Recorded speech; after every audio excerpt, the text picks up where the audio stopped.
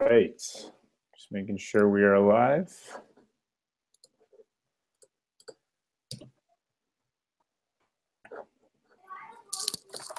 We are live, it looks like. we like. are live. All right.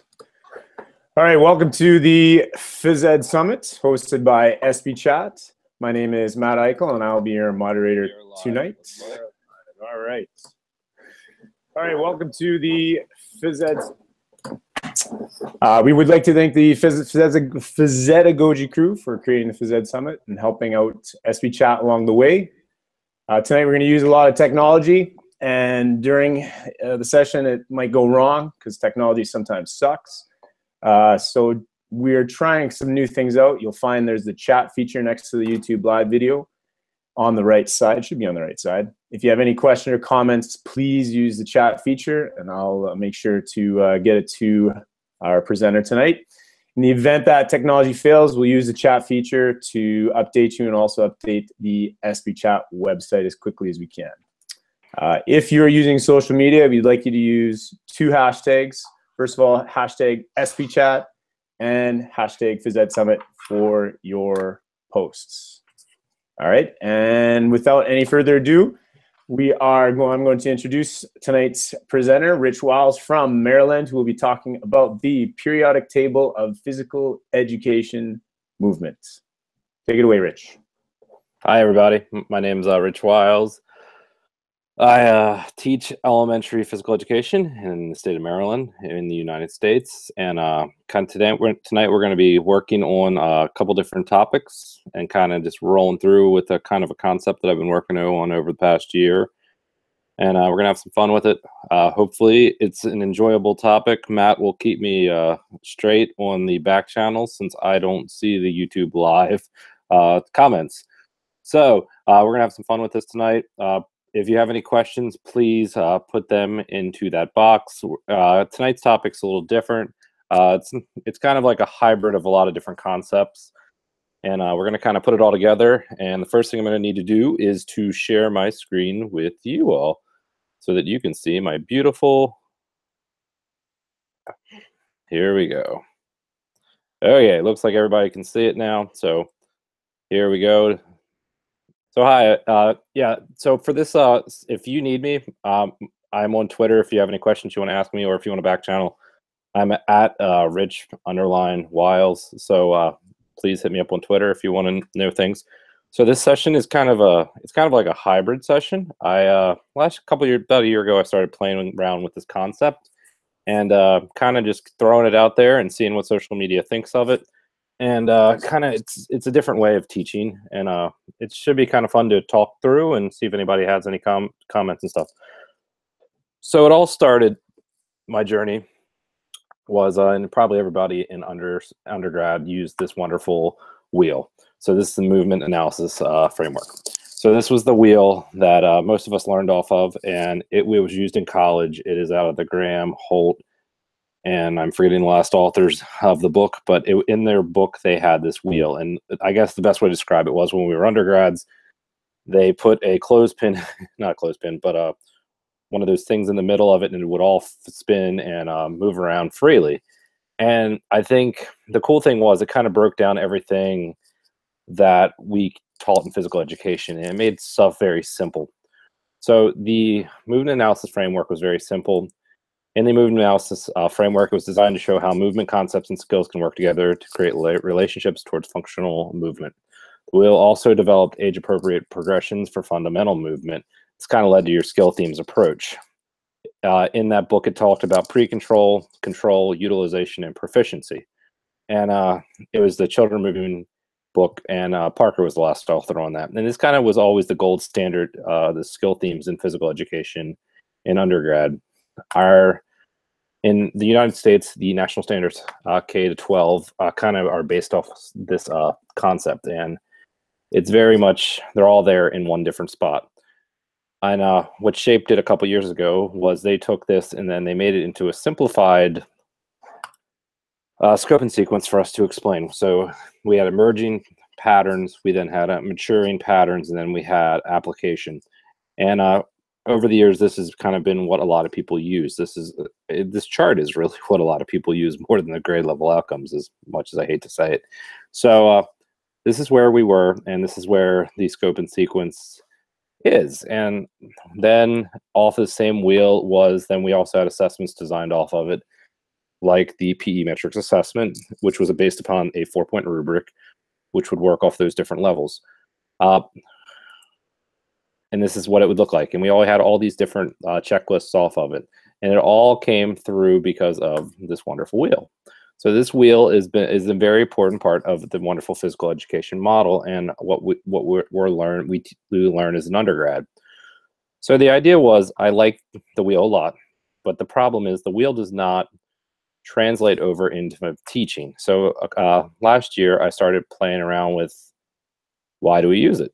And uh, how could why do we use it? And how could this work in in our classroom? And my thing is you know the wheel's great but I, I wish i could find a way to teach off of it. And uh, that's what i kind of been playing around with the past year. And i guess my reason my real reason was why not? So i love that the wheel is uh it can move and it can move into the different areas and quadrants. But my problem was in the wonderful world of uh I guess I like the world of where people push the boundaries of sport. I had a hard time fitting in where the movement would work all together because the wheel was only a unidimensional wheel and it was hard for me to understand the wheel in that aspect. So I'm thinking of guys like Laird Hamilton who, you know, surf giant monster waves and have incredible fitness. And I, I don't see always how they would work into that wheel design or our national standards. And so I kept playing around with this idea of how could we keep growing. Laird Hamilton is very good at that. If you don't know who Laird Hamilton is, he um, started the big wave surfing world. He started going after those monster uh, 90 foot waves. There's really a new biography about him out. Uh, Laird also works on many different things. And uh, the big big thing Laird now does is foil surfing. And really, if you ever paddled a stand up paddleboard, it is uh, really uh, he started that trend back up. So he, so I always try to figure out people like him. How can how could we go and why not are we then trying to push what we've been doing over time? So do we need to evolve? Uh, Alex Honnold, who is on the screen right now, is a very good example of that. He's done that in the wonderful climbing world. He did this very much climbing, and he was one of the guys. He lives in his van outside Yosemite. He travels all out throughout the world. And Alex then decides he, he doesn't want to climb with ropes anymore. While he does climb with ropes occasionally, he likes to do a sense that most people wouldn't want to do. And his idea was he could climb El Cap. And when uh, El Cap was originally originally climbed back in the day, El Cap, uh, when it was climbed, it took many weeks. He just did this climb in one day, and it's very impressive. And he did it with no ropes or not no equipment. So my idea was, how could we take our basic wheel, and how could we evolve it into something that we could I could use in my classroom every day? Because I wanted to prove to my kids that all these things on this wheel could be all interchanged and all work together harmoniously. So the idea of that came out to the concept of where I am now, and I'm going to kind of explain you where we're uh, going with it. So it's going to be kind of fun, and the wheel is been now made into a periodic table concept. And this is I'm going to show you kind of where I started and uh, where I'm going today and how it's impacting my teaching with this concept. So the original idea was I took that wheel, and then I started working with these things called the grade level outcomes, and I started trying to put them, try to put them all together and make them into their own world. So the idea of the periodic table concept was very simple. What I wanted to do was to make relatable elements, as I call them, for students to learn off of, so that in the 72 classes that I teach throughout the year, uh, the cool thing is, is that I wanted to find a way that so year to year my kids could understand what I'm doing. If I did wasn't hitting a standard, I, they would still have a relatable piece to it with those elements. So this is where the concept kind of started. The concept originally started on a, I'm a big fan of Rocketbook and really the Ever book now. And the idea was, was I, I took the different sections of the wheel and I broke them down. And I, what I did was I started putting them into families. And the way it would work is I, I kind of tried to put it out there where uh, we could kind of have them grouped together in different parts of the family and this is kind of where i started and i started adding the just the letter of the element and i started trying to work it together i then was kind of just taking different parts of the wheel and breaking them down into different sections and it was kind of a, just a learning process and i would just upload my notes into google drive and then i would sit on it for a little while and figure out how i could get it going and then my next question was, how could I link it to Classroom? So the idea was, I, and this is kind of where I've been going with it, is can you build a bond for your students? And my idea was that you could pick your elements, and that would lead you to making quality physical education lessons. And then you would add your standards in with it. And the idea would be that for homework, the kids could link it to what they're doing at home for physical activity. So that's where I was hoping to go. And the reason I was going this way is Joey, who was just running the PE chat, always preaches of adventure, and I, I, like his idea of adventure, where you know health and then physical literacy leads to adventure. And one of the big things that I wanted to do was try to figure out a way that my students would understand this, because I think sometimes students think physical education and physical activity are just work, and I wanted to find a way that could relate to what they were doing and make it an adventure for them because I think when things are adventures, they're you, it's a, it's an experience, and I think we need some type of experience when we're teaching, and I think our things that we do in physical education have to relate to that. So this is what led to this wonderful table. So the periodic table then went into the development phase after I did all my notes. And the development phase went very simple. I used a comic life and it was a little tedious. And then what I did was I started breaking them down into the different families the locomotor family, non manipulative family, manipulative family, effort family, spatial awareness family. And then what I started doing was giving them each an element uh, letter. And this led to my first creation that I created. And I tried to put it together on just simple blocks because I thought it would make sense if I put it onto a poster. And the poster idea worked well but the problem was the poster was not, I couldn't manipulate it. Does that make sense? So when you, I put it on the wall, it was uh, just one of those pieces that would just sit there. And I thought it was really cool. And I, I thought it was cool to work with, but it, it didn't function in my classroom really that well. So from there, I kept, I finished it up. And then our last unit, so in our periodic table, when I originally started it was I had a locomotor family, non-manipulative family, manipulative family, effort family, spatial awareness family, and then I had relationships. And uh, relationships I classified as in yellow. And that was uh, the different body parts with objects and alongside. And I kind of just started trying to put it all together and made it, can you make a bond with phys ed? So I started doing that, but it was it, it it didn't flow with my lessons. I felt like I was forcing it into my lessons, which became the issue, and I, I didn't want to push it that way too much. So I started then thinking of a different way I could approach this, and I thought the easiest way that I could approach it approach it was I would make the element families of phys ed, and I would make them into their own little graphic in uh, Canva. And the way I looked at it was was I needed to find a way that I could make posters that I could use a as uh, academic language, but I could also use as elements. So it kind of served as a dual purpose in my classroom. And uh, it went fine. This is the one I used for locomotor uh, family, and I, I did that in red. I kind of just went with some of the original old wheel colors. I tried to tried to update them and make them look prettier, and I think that's where I went with it, and just kind of made it so it would be eye catching. So of the elements, we had element one was locomotor because I feel like locomotor does deserves the number one spot. We use it the most. It's in pretty much everything we do. We're always walking, run, jump. We hop, slide, gallop, skip, and leap many different ways. And this was going to be the locomotor family. I did give each locomotor family a their element too. It was just uh, I don't know if I, I like that, but it it seems to work well when you have to group them together a little better. I gave it an element letter I gave it the name and the definition. And what I did was I made these little cards. And these little cards right here is, I, I originally made them on a giant 8 by 12s And they were really cool because I could uh, put them on my, you know, dry erase board underneath my outcomes. And they worked really well. But the problem with them was, was they were too big. So I tried to put them on a wall and it just didn't work. And the idea was then I had to figure a way to make some type of teaching style that was a little different. And the one thing I use a lot is I have a giant wall in my gym, and I decided I need to fill that wall up with all the elements. So what I did was I got rid of my original word wall, and the next creation became I started making the periodic uh, table version two, and this is what I'm using this year as I teach.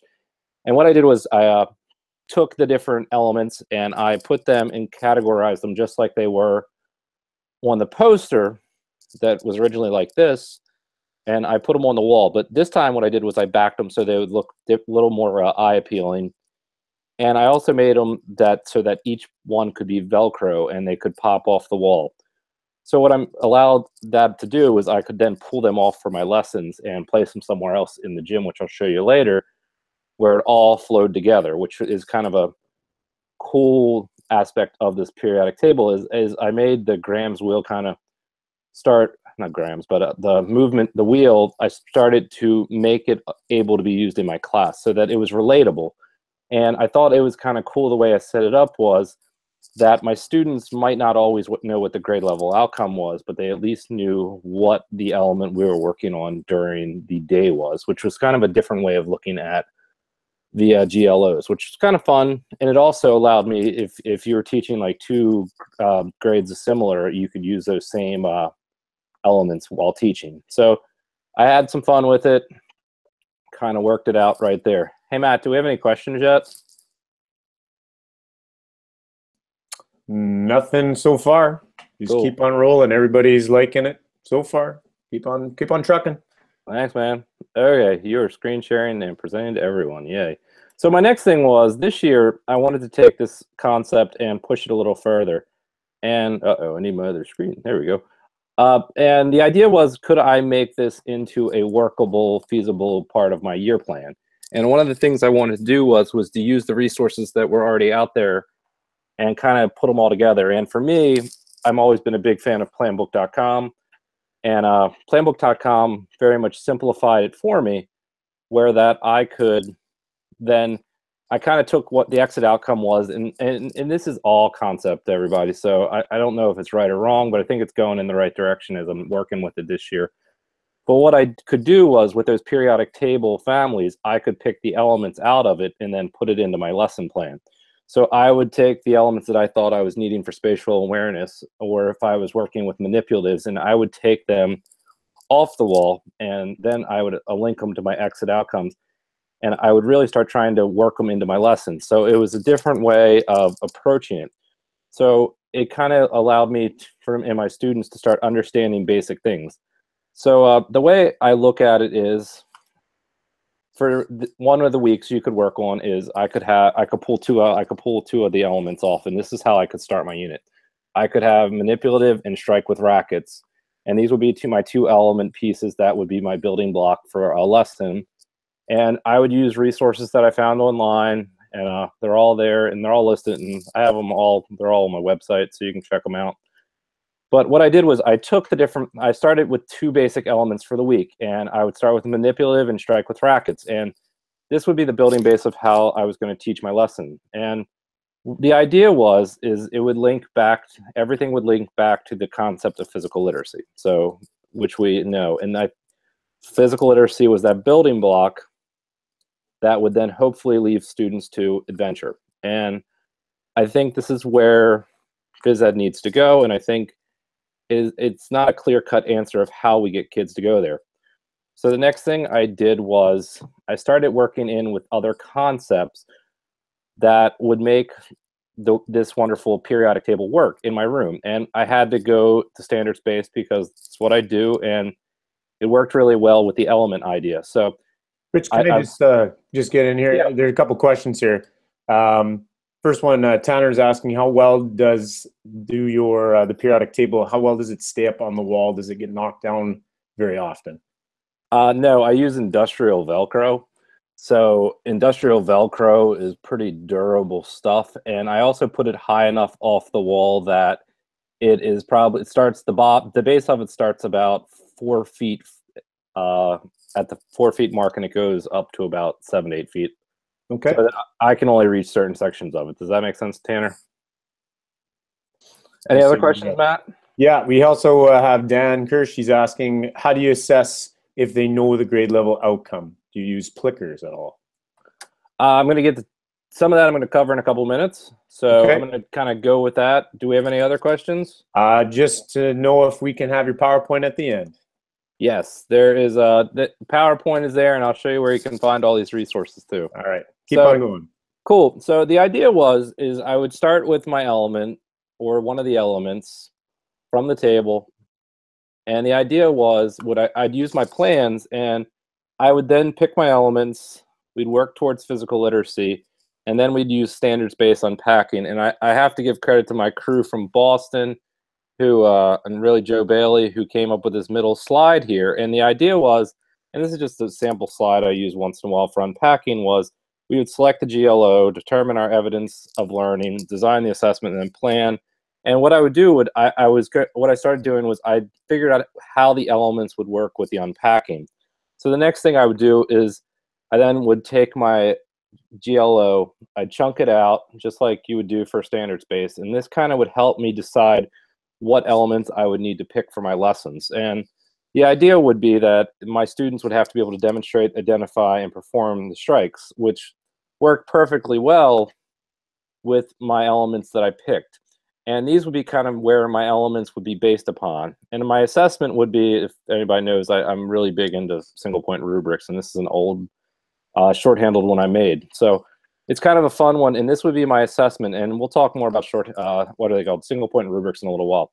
So the idea would be that I, I could plan my lesson, and then each activity I would build in different elements with this. So we started with our basic one, manipulative and striking with rackets. And I then go into my what, and my what would be for my students. Uh, this is a fourth grade lesson. What is short-handled striking, and what is the force? Just to have fun with Star Wars, and both would be applied during this.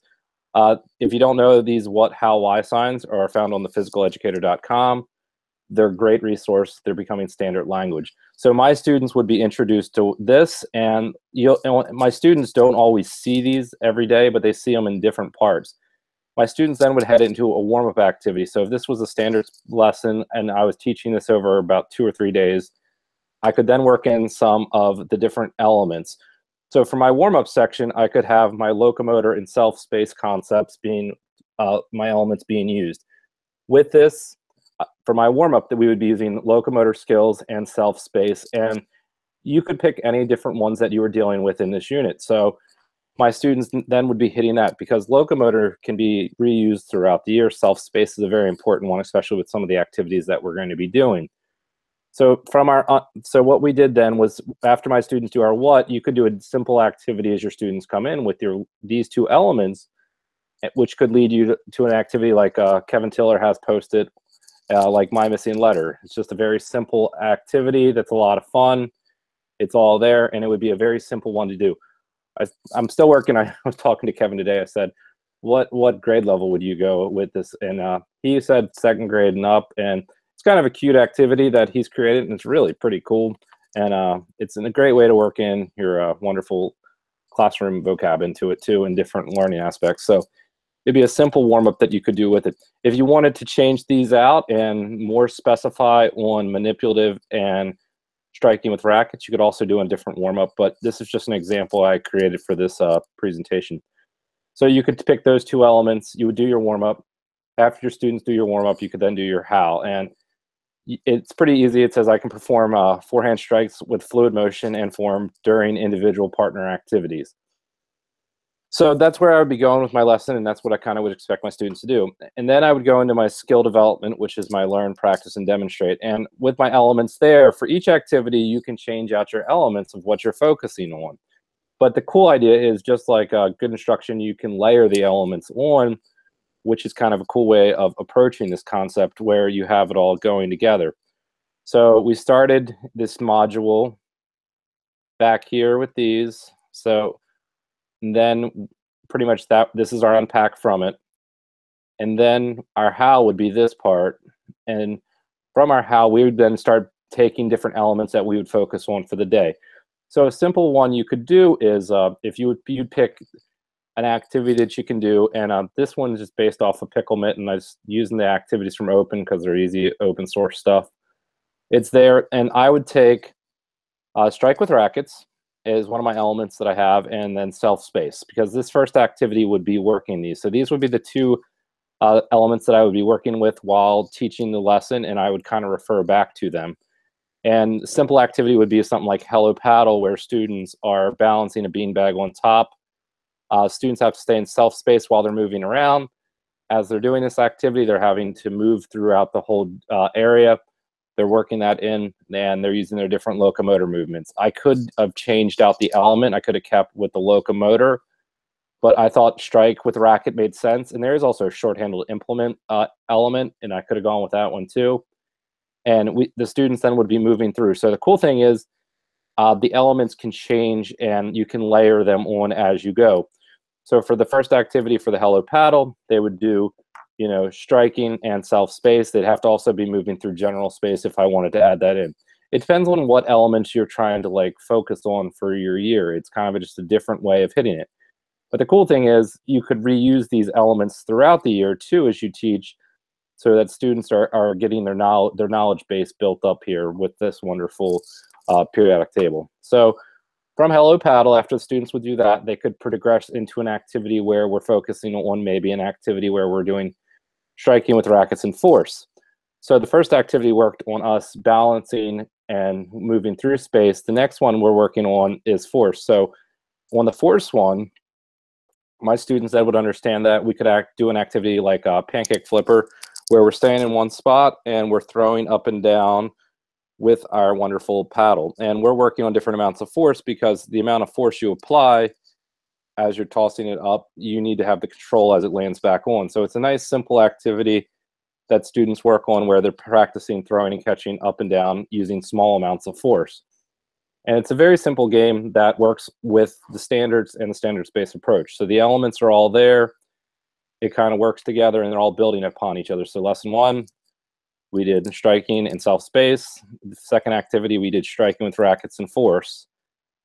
So I probably in my class, I teach 30 minute classes. I could probably hit one more activity if I wanted to, or this would be all maybe my activity I would start with for my next class, depending on it. So my first day, that would be kind of the uh, elements I hit. The second day, I get a little more advanced, and you can then start adding on some different layers. So you could then add on a couple of your different uh, elements in here. So we're still striking with rackets for our next activity in self space uh, using strong force that is strong or light. So it's an easy way you can look at using the different terms in your class and the students can link one and build the bonds. So we started kind of making basic elements here and making simple bonds, simple bonds, and then we started adding on layered bonds so that students could then start understanding that as they went from you know controlled stage of the wonderful wheel, and I forgot what my next term is. Sorry, to utilization and then proficiency. They could layer on these different levels, so it would be all there in your thing. And students, oops, sorry, one slide up. Uh, and it would be right there. So our next activity would work on to show all these. A simple activity that you could do is something like from Bird Cage, Birdie in the Cage, where students are working on uh, applying, they need to apply small amounts of force or large amounts of force depending on the distance they are from the hula hoop and maybe a poly spot in the middle. And they're practicing striking it over to their uh, target. So with this, the students are then working on their different um, levels of force, how much force they're using. Also, is it a strong or light amount of force? It also works on our striking, and students are still in their own self-space area. So it's a very simple, just layering on the instruction with the elements. So we're making those bonds. Each lesson they build. So your next activity that you could then go into with, with this would be you would then layer on another element and you would then layer on maybe striking with rackets, force, uh, self space, light, strong, and then adding some general space. And the idea from there would be you could then take these elements and work your way into one-on-one partner activities so that students then are using all of these different elements on the periodic table and they're then uh, applying them to different activities. So we're then into that wonderful utilization and then proficiency level where we can almost play ourselves a game in that tactical approach, which is kind of fun. So it's all there and it's built in. So we went from these, just playing Bert, Birdie in the cage. From there, with our elements, one on one. And it's a simple way to layer in your lesson. And it's a simple one because, say, I did this lesson with fourth grade and I used these elements. If I then approach the same lesson in fifth grade, I could use a, uh, some of the similar elements, and I could instead of being striking with rackets, I could be striking with implements, or I could be striking with a different uh, long-handled uh, racket. Sorry, long-handled implement. But uh, it, it's all able to work interchangeably together, which is kind of fun, and it's kind of easy because the students then start remembering the different elements as they learn. But it also allows I think it's easier if we have the ability to look at a whole periodic table. Uh, you could totally have it to the point where it, it you could make, possibly hit all those different things on the periodic table in one year through multiple different lessons. So it's kind of a cool way of doing it. And uh, that's where we would go from that. And you could do into one-on-one partner activities. And this is where we would be if we were doing like a short-handled striking implement game. Your short-handled striking implement game could be anywhere from uh, uh, a modified version of tennis. You could do it as a pickle mitten game or a pickleball game. Uh, paddle slam, any of them could work into this one-on-one partner activities. Matt, do we have any questions anymore? We no questions. We've got uh, some people are liking this. Uh, well, we have even as an adaptive teacher, this relates to my non-readers and can be meaningful. So a lot cool. of a lot of uh, a lot of cheering for you here. Cool. Yeah. So the idea, guys, is is I wanted to make something that took a, a, a just an, a, concept that we all learned and figured a way to upgrade it. So the next step would be in this uh, would be then you could add on another layer. So one-on-one with partner uh, would be our next thing. So we progress from in self space, you know, striking rack rackets with force, and then we did that here with pancake flipper we then transitioned into striking rackets, self space with force and strong and light amounts, and we then applied it to birdie in the cage. We then used these elements to this, and then you could add on another layer where you're building on those more elements into an activity where you're then adding a partner aspect. So this would be your relationship part that you could use with your students. So this could work in your standard four, very simply adding it into the lesson that you're teaching. So in this next activity, you could do with partners in self space. Uh, strong, sorry, I could I should add light too. With force, general space. Oh, there's strong and light. Sorry. You could also apply transfer of weight with this because you're going to have to move uh, weight a little more frequently with this next activity since we're using partners. And you could be you're still using your short handle implements. And your next progression you could do is taking it from one person versus one person to uh, 2v2 with partners, where you're creating a, uh, a court and you have different people playing in it. In this in this version, we have a stormtrooper playing with Yoda and Darth Vader on the other side of the net. So it's a very simple way that you could work into then uh, 2v2 with partner. Uh, the cool thing is is the elements and the table work pretty much with uh, any different any resource you could use so that it would be very simplified uh, language to use with anybody which is kind of fun and use. So you, this one you could see it in this activity and you could use it just a basic jump rope. You could have striking with partner your your you have your partners being played. You would have to watch your self space but also the general space where you're moving you'd have to make sure you're applying the correct amount of force and you might have to transfer weight to wherever you're moving to a, for your shot that you're looking for. So it's different ways of kind of taking our different uh, elements and kind of working them because i think it's kind of cool when you get to this level you could also then apply it back to where we then are talking about this guy laird hamilton who is using many elements surfing and this guy alex i'm always hard Honnold and the way he climbs up El Cap because they are not just using one section of the wheel, they are really taking it and pushing it and using the multiple different parts of it, which is really a kind of a cool way of looking at it. So I like it because I could take my elements, still link them to the GLOs, but then I could also take them and push them to the point where I could use them in uh, recreational or adventure activities, which is kind of a different way of looking at it. So I got a question here, Rich. Yeah. Sorry, sorry to butt in there, but uh, no, Derek, Derek Scott's asking me uh, what it looks like on a daily basis. Okay, so the lesson I'm showing you is a lesson that you could use on a daily basis.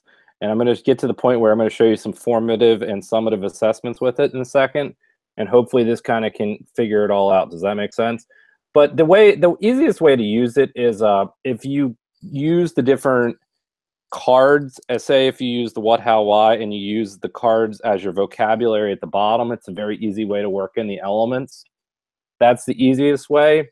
And then where it really gets cool is where if you can start linking into formative assessment and summative assessment, it kind of gets fun because then you can use it. And, and the idea is students can start making what I call is making bonds.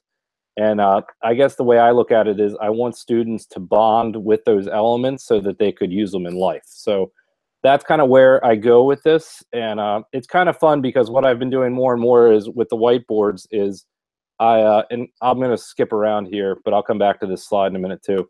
But in the middle of this board is the element, and it says, "Can you make a bond?" My kids around it write how they can link to this at home, which is one of the biggest things that I really like. Is I've just it, it kind of links together with their learning in the classroom, and it allows them then to link it to their wonderful uh, experience they have in life. Another thing that you uh, this one worked really well when I created it last year, and I gave it a couple dry runs through was in the formative assessment world, I also created a basic paper. And on the paper, it was pretty easy. It was uh, how can you make reactions? So the element plus you equals adventure. And can you make a bond with this lesson? And what my kids could do is they could write either one element or multiple elements in that block and then plus you. So you are a part of the adventure and you're needed to go on the adventure. And uh, the way it worked was was in the your adventure box, kids could either link to somehow that they're doing it after school or they could link it to their life or how maybe an adventure that they want in the future and it allowed students to kind of really just start thinking far out there of what they could do if they took physical literacy and kept running with it in their lives so it's kind of a cool way linking it all together and it was just a very simple uh, formative assessment that i could use because in this simple activity my kids would have to know what the element was and what we were talking about for the day. They could put it in here plus you. They would equal your adventure. They could write it up. And uh, I, am not a, I'm I'm not one that I don't really care what they sometimes put in here. I think sometimes it's more meaningful if the student understands it. So if you wanted to draw me a picture of the person on adventure and kind of explain what it's going, I'm good with it. Uh, I think sometimes it's an easy way to see if the student really grasps it is where they take their explanation of it. So kind of a simple thing you can do with this periodic table. Uh, I have to say that this table is still in flux. Uh, some days I feel like I want to add another uh, family on it. I sometimes want think maybe a technology family will be added to it or something else. I'm trying to figure that out. I, it's a growing project and I really just wanted to kind of propose it to everybody so that they could figure out where they would go with it and uh, take it. So the cool thing is this is just a very simple sheet that I, I've made and it works really well. And a uh, simple way you could use this is put it in dry erase sheets. They work really great and uh, you can give them out or you can use the old school thing called paper and pencil and do it that way. One thing this year I finally got some iPads laying around my gym. I think it'd be fun that if the kid, uh, they put their element in there plus you and the student doesn't just uh, they make the adventure up. Maybe they they video assess it and they kind of tell me where they want to take the adventure. It's kind of where I might want to go with this in the future. So it's kind of fun to see where it's all going in one spot or another. One of the other ideas is uh, we had our I, this is where that Plagnets thing comes in. Um, Mike Giacola, Joey, and everybody else to contribute. Tanner. Uh, really, I have a couple sets of these around the gym. The cool thing with it is is I can use multiple assessments on one board thanks to this now. I have the can you make your bond in the middle, and I can use the dry erase board. So I can ask kids to write on this, and I have two sets of the uh, Plagnets going in the gym now. So this is the one set some days I use, where I use another set on the other wall. And the cool thing is I can then have the kids make a bond with the lesson, but also then use the Plagnets to grade themselves based upon the rubric that we have designed for the lesson. And it's kind of links everything back together because we have our standards working with our elements there. And it's a, just a very cool way that kids are understanding the elements, but they're also understanding the GLOs that we're learning. And sometimes, you know, if, if you don't teach enough classes one year of one skill, you might not get it, but at least with the elements, if you're teaching those parts throughout your year, the students will hopefully remember that uh, previous knowledge that they had. So it's kind of fun. Uh, so on this one, like, so I asked, on this one, say the kids make a reaction or make a bond with the lesson, they could write it here. And then you could also grade them based upon uh, how they felt about the skill with the rubric. Uh, on the top here, where my cursor is near the wow, most of the time I write my uh, what I'm looking for on the rubric, and then we got we use it with the magical Plagnet system of wow, got it, getting there, and uh, not yet, which is a very simple way of doing it. And um, it's just a simple way where I can get two different types of activities. You can also link it in if you use one of the slap graders.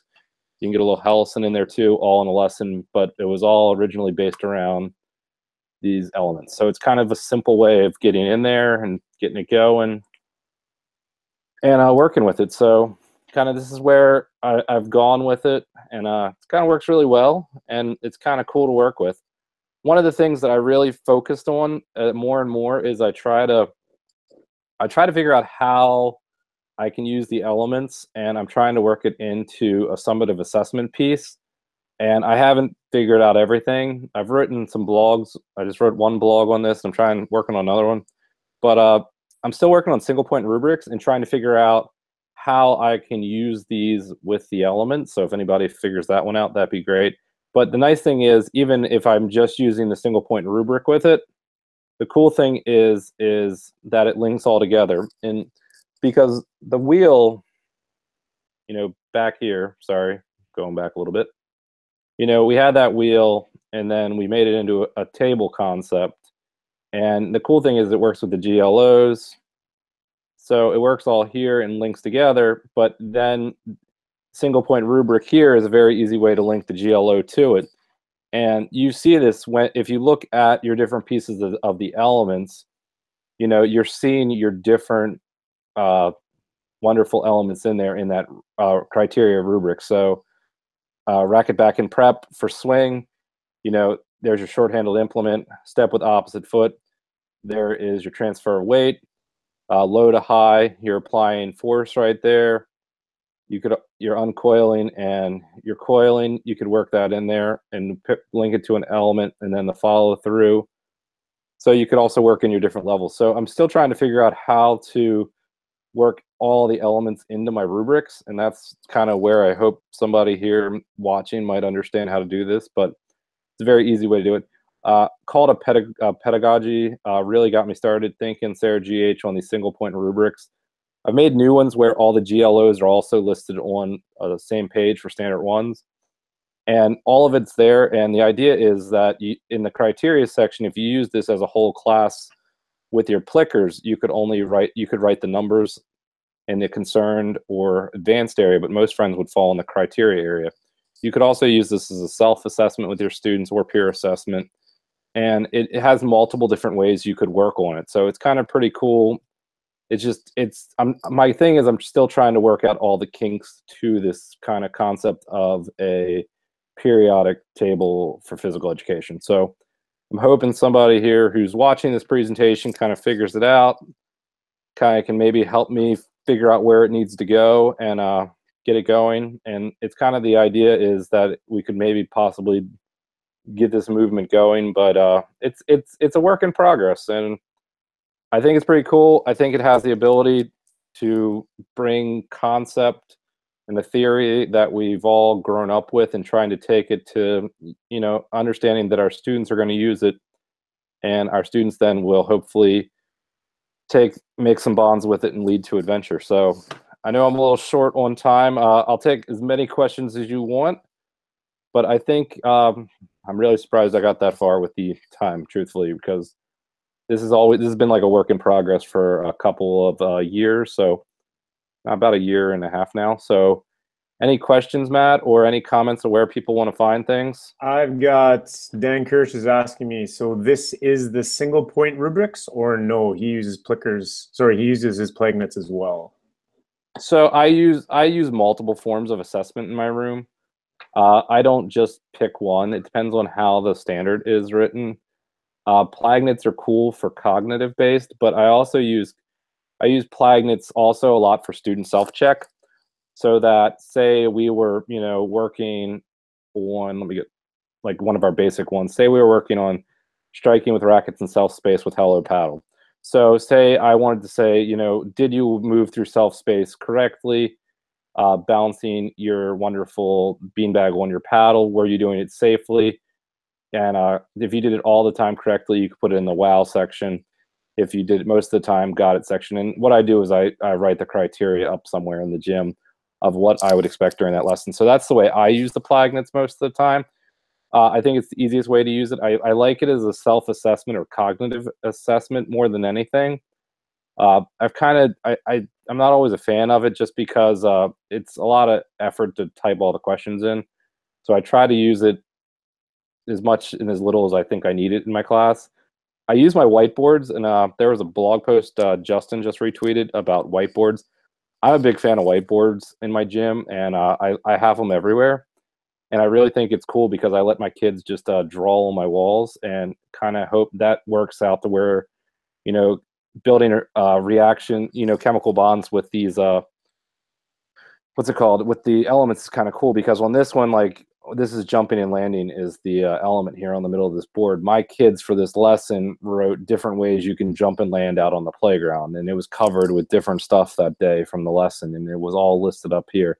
And on another board, I had uh, you know catching and who you could play catch with at home. How could you make a bond at home? So I, have kind of expanded out with all my different assessment forms.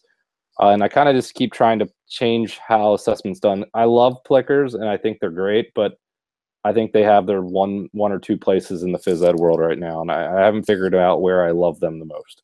So I, I, think sometimes doing simple stuff like this, and uh, I think you get to know your kids a little more. So it's kind of fun sometimes. Read it is more work, but it, it's not horrible. So any other questions, Matt? Oh, yeah, single point. Oh. oh, sorry. Single. Let me get single. Single point rubrics are the idea that uh, I just wrote a blog on this. Single point rubrics are it's a way to simplify, hopefully the old school checklist that uh, a lot of us still use and trying to figure it out. So instead of using this, it's easier because you could have with the Plickers numbers, you could have everybody's number here on one paper. That's my idea of pushing it that way. Go okay. for it, Matt. Uh, yeah, I had another question. How do you grade with your single point rubric and Plickers? You kind of just went over that there. Right. Uh, yeah, I mean that that's how kind of I grade with it in the elements. So it's pretty self-explanatory there. Does that make sense? Somebody else, another question. Go for it. Uh, shoot it. And... Uh, Tanner said he'd love to. He'd like to see the table again. Sure, the table. Uh, there's two versions. I have ne- they're both posted on Phys Ed Resource, which is the site I somehow still run and functions. But uh, the original table was this one, which was three posters, and I enlarged them and this is where it started from and this was the original one this one and this one and this is just an old comic life file and now it's pdf but then I, what i did was these are all made in canva and i they are in a pdf form on phys ed resource and they're all there already done for you. All i did was i made them into uh, i put four to a page and i made them smaller and then i just backed them with a piece of construction paper laminated them through, and then threw on some wonderful Velcro on the back of it. And I kind of just then started aligning them. And you'll notice that if you look from this table to the other one, it's a little different. Uh, I haven't figured out the column height sometimes. I think it's also so uh, it's also it's it's a it's a concept that you know it's going to grow and it's going to change and it's going to evolve. I mean, look where Plickers were uh, two years ago. I mean, Plickers were a basic card that we used in our hands, and now they're a magnetic sheet or a plagnet or where they've gone. So I think it's one of those things where I'm just going to put it out there and see if anybody bites at it. If not, we can just scrap it to the pile and find the next cool thing coming up. So pretty cool. Any other questions, Matt? Nothing so far. Nothing so far. I, this was eye opener for me, Rich. I, I, it's awesome to see all that language used, and it's something that I think uh, I'll take away from this for sure. Uh, my mind is a little bit blown here, so you've uh, you've enlightened me a little bit. Uh, we had a lot of people just really think thinking that this is a very interesting way to articulate the language. Um, they really liked how you uh, brought them back to their high school chemistry days, and uh, yeah, just very very cool. Cool. So, Very cool. Well, we don't have to. If anybody has any more questions, shoot them now, or uh, Matt and I get ten extra minutes to maybe go watch TV and hang with our families. But if, if not, it's it's not the end of the world, and uh, it, it's been fun hanging out, and I'm hoping you all enjoyed watching tonight. So sometimes it's good just to throw an idea out there and uh, see what people think of it, and kind of that's where I went with the session tonight. So hopefully, uh, Will is rocking his session too. I look forward to watching it in a little while. If you haven't had a chance or you haven't seen Will's stuff, please go check that out too. So I think that's going to wrap us up for the night, unless we got any more questions. Anything That else? is it. That is it. I just need to. Uh, sorry, do you have anything else to add? No, let's finish up No. and get out of here. All right. Well, uh, you can get your certificate of participation for those who were here tonight by going to the ESPEchat website, clicking on the summit page. Uh, make sure you provide your correct email, so it'll be emailed to you in a few minutes. Uh, thanks again, Rich, for this awesome session. You can watch this over again. This is recorded, so hopefully. And uh, we are having sessions all week. We had two last night. We have two tomorrow. We have two on Thursday. So make sure you're coming out every night. And besides that, we are good to go. All right. That is it. Thanks for tuning in.